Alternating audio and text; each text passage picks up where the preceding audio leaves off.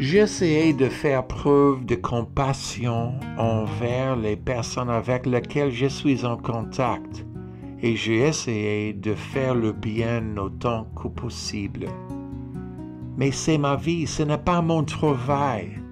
Mon travail, c'est de mettre à la place des autres. Kevin Bacon. Se mettre à la place d'autrui est le travail d'un acteur et c'est une pratique d'empathie. Cela signifie que nous comprenons déjà ou que nous avons un moyen de comprendre ce que les autres ressentent. Nous possédons le bagage que nous permet de trouver un terrain d'entente où nous pouvons accueillir une expérience directe par le biais de la recherche.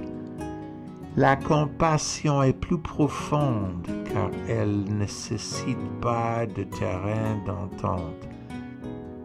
Elle ne requiert que le désir d'atteindre les souffrances d'autrui. Un mot bienveillant partage des chansons quotidiennes et une âme sacrée.